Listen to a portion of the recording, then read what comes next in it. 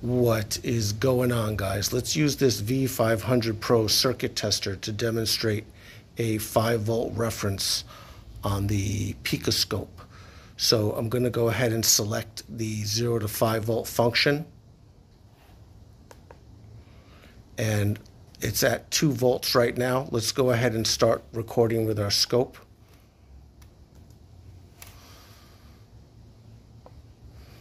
Okay. So there is 2 volts. And you can adjust this by small increments or by larger volt increments.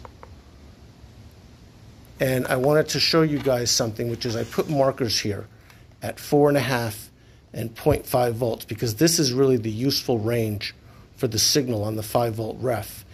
If it goes up to 5, then you don't really know what value it represents anymore because it could be a value higher and you're at the limit.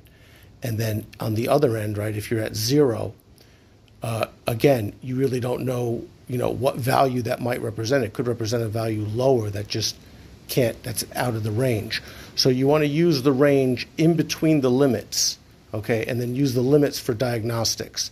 So what would happen, for example, is if we shorted our 5 volt ref signal wire to 5 volt power, you see now we're outside of the range, and that could trigger a circuit code. And the same idea would apply to, for example, if there was a break in the wire, like pull this out, now we're down to zero.